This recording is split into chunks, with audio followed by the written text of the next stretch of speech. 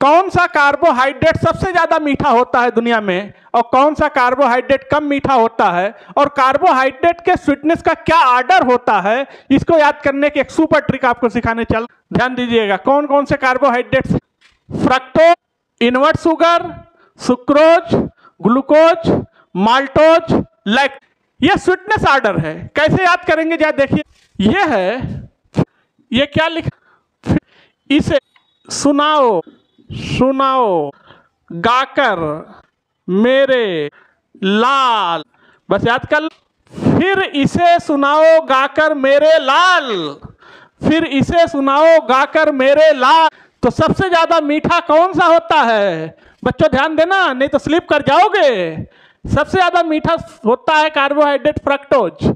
फिर invert sugar. फिर sucrose. फिर ग्लूकोज। फिर माल्टोज।